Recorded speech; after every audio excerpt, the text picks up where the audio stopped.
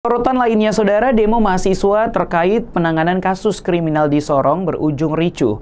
Mahasiswa dan polisi terlibat aksi saling dorong hingga polisi tembakan gas air mata.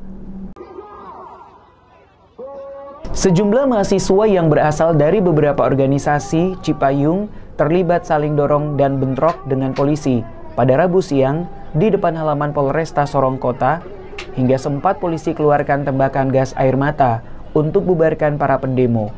Polisi kemudian mengamankan beberapa mahasiswa, namun pada akhirnya dibebaskan kembali.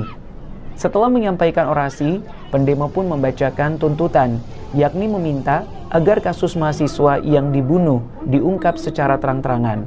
Mereka juga meminta agar kasus kriminal dapat diselesaikan dengan cepat.